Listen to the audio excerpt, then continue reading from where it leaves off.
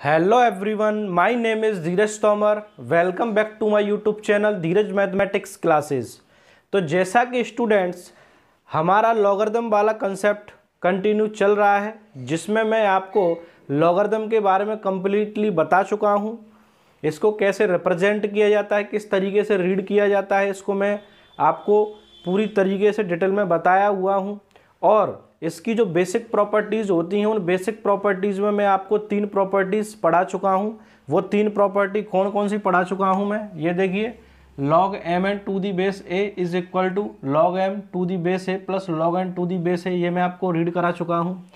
Log M upon N to the base A ये भी मैं आपको रीड करा चुका हूँ। Log M to the base A minus log N to the base A multiplication के लिए प्लस, डिवीज़न के लिए माइनस का साइन लॉग में आता है जब इसको ओपन करते हैं।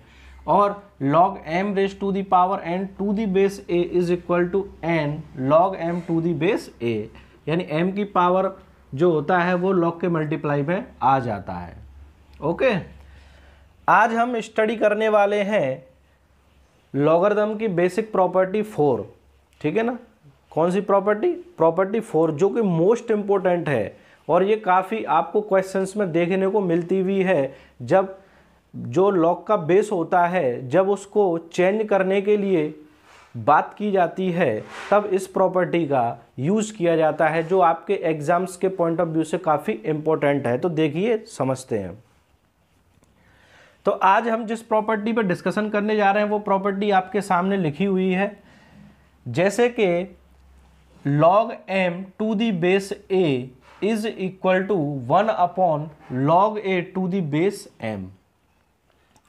तो जब भी इसका मतलब क्या होता है कि लॉग एम का वैल्यू हम किसके रेस्पेक्ट में निकाल रहे हैं? ए के रेस्पेक्ट में। बट यहाँ पर यदि आपको बेस को चेंज करना है, यानी लॉग एम का वैल्यू निकाल रहे थे किसके रेस्पेक्ट में? ए के रेस्पेक्ट में। और यदि अब आपको इसके बेस को चेंज करना है, यानी लॉग ए की वैल्यू निकालनी है एम के रेस्पेक्ट में तो क्या फॉर्मूला यूज़ करते हैं? तो उसके लिए फॉर्मूला हमारा होता है, जब भी हमें बेस चेंज करना होता है तो उसके लिए फॉर्मूला होता है log m to the base a is equal to one upon log A to the base m. तो यहाँ से आपका हम क्या कर देते हैं? बेस को चेंज कर देते हैं। ठीक है ना? तो यह हमारा बेसिक प्रॉपर्टी फोर था, जो काफ़ी इम्पोर्टेंट है। इसको एग्ज़ाम्पल के साथ समझते हैं, देखिए। इस एग्ज़ाम्पल इस एग्ज़ाम्पल को यदि आप देखें तो log three to the base कितना है? टू है। यदि हमें इसका बेस चेंज करना, यदि हमें इसको लिखना है, इसको हमें लिखना हो, log two to the base three की फॉर्म में कन्वर्ट करना हो तो किस तरीके से करेंगे? तो देखिए, इसको कन्वर्ट करेंगे वन अपॉन लॉग जो यहाँ पर बेस है, वो अब लॉग का वैल्यू बन जाएगा, यानी लॉग की वैल्यू निकालेंगे। किसके रेस्पेक्ट में? थ्री के रेस्पेक्ट में। ठीक है ना? अभी हम लॉग थ्री का वैल्यू निकाल रहे थे, किसके रेस्पेक्ट में टू के रेस्पेक्ट में लेकिन हमने इसका बेस चेंज कर दिया तो कैसे लिखेंगे इसको? One upon log two to the base three okay students next example देखते हैं। यहाँ पर log seven to the base five है। जब हम इसके बेस को भी चेंज करेंगे, इनके इनको आपस में क्या कर देंगे? चेंज कर देंगे तो ये क्या हो जाएँगे? वन अपॉन में आ जाएँगे, ठीक है ना? तो लॉग सेवन यहाँ पर क्या था हमारा? नंबर था यहाँ पर फाइव बेस था तो अब ये फाइव हमारा नंबर हो जाएगा और ये सेवन बेस हो जाएगा। तो log seven to the base five को हम कैसे लिख सकते हैं? One upon log five to the base seven next देखते हैं।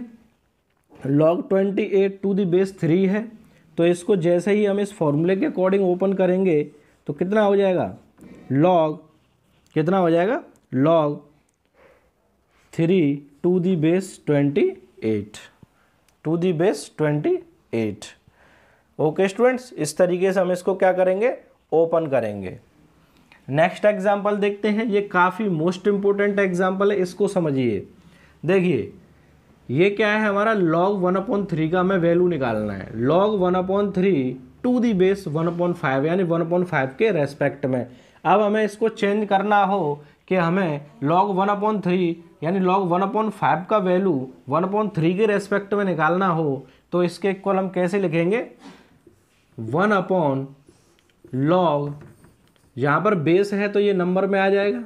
वन अपॉन फाइव और जो नंबर है वो किसमें कन्वर्ट हो जाएगा? बेस में। तो हम इसको कैसे रीड करेंगे? Log one upon three to the base one upon five is equal to one upon log one upon five to the base one upon three. I hope आपको यह समझ में आया होगा। नेक्स्ट क्वेश्चन देखिए। नेक्स्ट में क्या गिवन है आपको? Log five to the base one upon two log five to the base one upon two को जब आप कन्वर्ट करेंगे तो one upon log one upon two to the base five अब आपका ये जो नंबर था वो बेस में कन्वर्ट हो जाएगा। जो बेस था वो नंबर में कन्वर्ट हो जाएगा। ठीक है ना? तो इस तरीके से आप यहाँ से वैल्यू निकाल सकते हैं। सिमिलरली हम इसको भी लिखेंगे, यहाँ पर क्या है? Log one upon three to the base nine तो जब हम इसको कन्वर्ट करेंगे, इस प्रॉपर्टी के अकॉर्डिंग तो जो हमारा बेस होगा, वो नंबर में कन्वर्ट हो जाएगा, और जो नंबर होगा, वो बेस में कन्वर्ट हो जाएगा। यानी इसको हम लिख देंगे one upon log nine to the base one upon three तो ये आपका प्रॉपर्टी नंबर फोर था, जो काफ़ी इम्पोर्टेंट था। यहाँ पर हम क्या करते हैं कि बेस को नंबर में और नंबर को बेस में कन्वर्ट करते हैं तो कौन सा फॉर्मूले का यूज़ किया जाता है? इस फॉर्मूले का यूज़ किया जाता है। Log M to the base A is equal to one upon log A to the base M तो आई होप आपको यह अच्छी तरीके से समझ में आया होगा।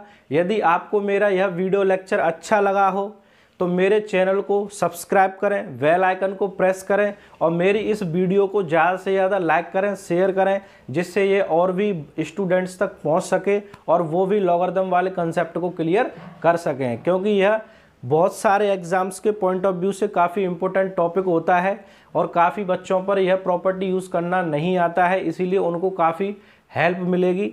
इसलिए आप मेरी इस वीडियो को ज़्यादा से ज़्यादा शेयर करें और चैनल को सब्सक्राइब करें। मिलते हैं नेक्स्ट वीडियो में नई प्रॉपर्टी के साथ। Thank you.